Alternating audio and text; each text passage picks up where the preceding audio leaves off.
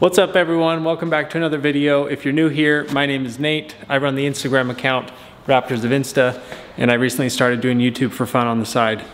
My wife drives a Tesla Model Y. I've got a Raptor and I've also got a H1 over there. Um, if you're new here, thanks for watching and thanks for tuning in and hope you enjoyed today's video. We are going to be taking out the Hummer and we're gonna show people what it's like to daily drive a 1991 H1. So we just cleaned the Raptor yesterday. We don't want to take it out in the snow, but we got a few errands to run. And since the snow is starting to come down and it's wet, we're gonna be taking this out. So this is what it is like driving a 1991 AM General Humvee. Gotta let that warm up a little bit.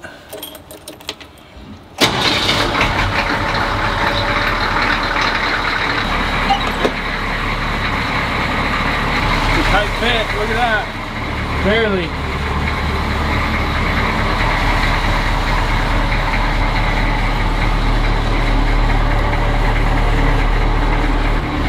Since it's snowing, we probably want to put the door on.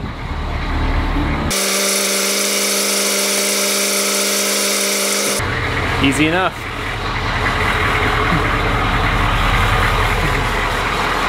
So the other day I was out here I pulled it out of the garage and it had been about three weeks since I drove it. Uh, it was super cold outside and as I was pulling it out of the garage, something in the car popped over here and then white smoke started coming out. So it really scared me and it was too cold to be running it so I pulled it back in the garage. Yesterday I got it out again, it was somewhat warm and turns out my heater, I don't know if the fuse went out or if some wires touched and electrical just went out, but my heater no longer works. So that should be fun for the winter. I'll have to get that fixed soon. In order to get the lights and the blinker working, you have to unlock it on the bottom, push the dial over twice. Now the blinkers will work, the horn will work, and the headlights will work. Now we are ready to get going put the brake down, put it in drive, and we're off.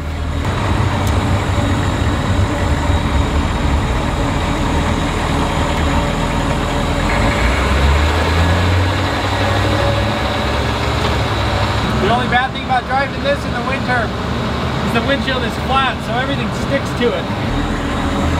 Well, as you can probably hear in the video, everything is squeaky. Uh, this car's almost 30 years old, so it's old, but it's only got 10,000 miles and it runs awesome. So I've had it for almost two years, haven't had any issues with it. But knock on wood. All right, now this is where the Hummer lacks, is it is slow. So when you're pulling out into traffic, you gotta make sure there's a pretty big gap because this thing is 0 to 60 in about 30 seconds. Not quite 30, it's like 25. There's a gap, here we go.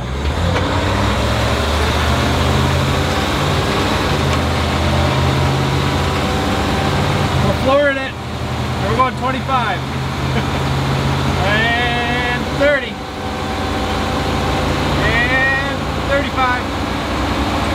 Come on, baby. 40. We've arrived here at the bank and we're gonna see if we fit. Ooh, it's gonna be close. We're like inches.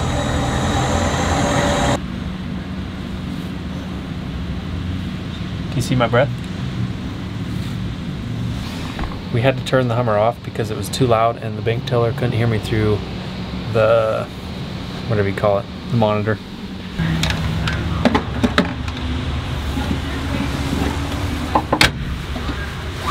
The bank was a success.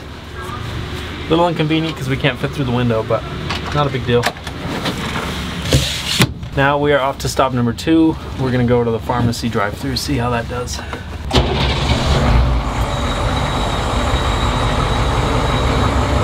It starts up every time.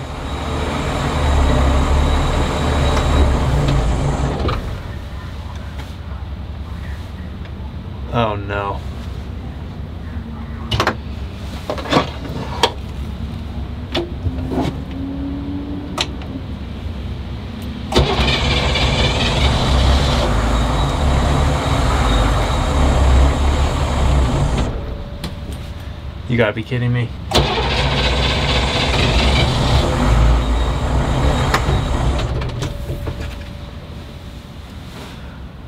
We're literally stuck. This is the first time this has ever happened. Come on, baby.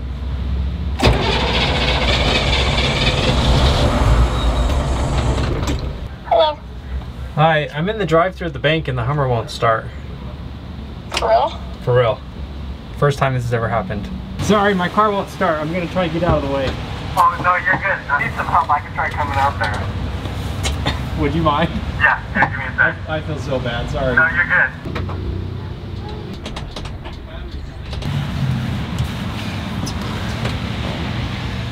Karma, jinx myself.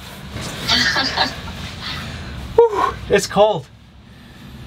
Did you get it in a spot? I just rolled it straight forward, so now I'm just sitting here. I'm stranded, nobody's answering. Oh, he's calling. Hey, Hey, sorry. That's I'm in alright. driver's video too. I'm stranded in the Humvee. Oh no, you're not gonna like what I have to say. You don't have your Humvee. No, Peyton and I both just tested positive for COVID. Oh! Call Tony Salty Gears on speaker. Hello? Hey Tony, it's Nate.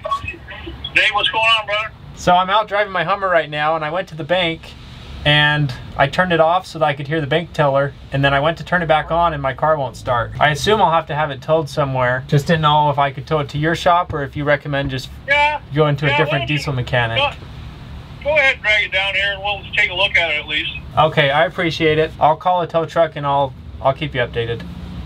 Right, right on, man. Okay, thanks Tony. Hey, no problem, bud. All right, bye. Bye. Well, that was Salty Gears Off-Road. This is not a planned video, but Salty Gears is going to take care of it, and I'm going to call a tow truck, see what they can do. This is where it died, and the bank teller helped me push it out here. So now we're going to wait for a tow truck. Three hours later.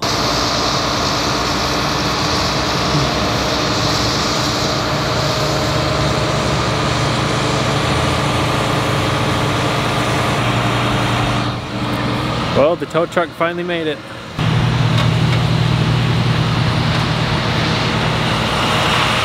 It's a tight fit. Real tight.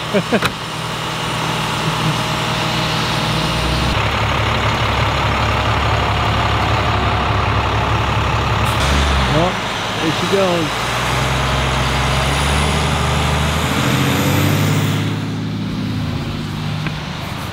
So what started out as a little trip to the bank and the pharmacy ended up in like a four hour ordeal. Not quite four, a little over three and a half hours. So hopefully we get it fixed up soon. um, that didn't end how I was expecting, but we should have a, a word from Salty Gears Off-Road tomorrow, and I'm sure they'll have a diagnosis on it pretty quick. Um, when we were pulling it up on the tow truck, there was diesel fuel leaking, and he looked up underneath, and oh, sorry, that's really dark. Um, he looked up underneath, and it looked like maybe a fuel line had popped or fallen off, or there's a hole in it or something. He said he could see diesel fuel just spewing out. So had a full tank of gas that's down the drain um, but it'll be all right we'll get it back on the road soon we'll get it back and we'll do another video so if you enjoyed this video please smash the like button and we'll see you in the next video